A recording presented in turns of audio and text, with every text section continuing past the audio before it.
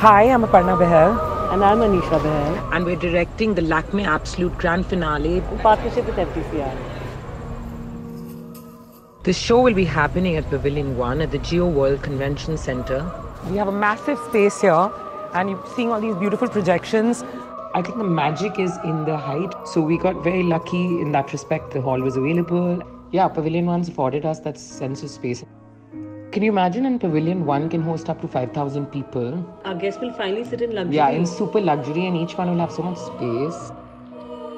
You know, Rajesh has just put some subtle nuances in his clothes, but it is so powerful. I think musically also, it is the top of its game.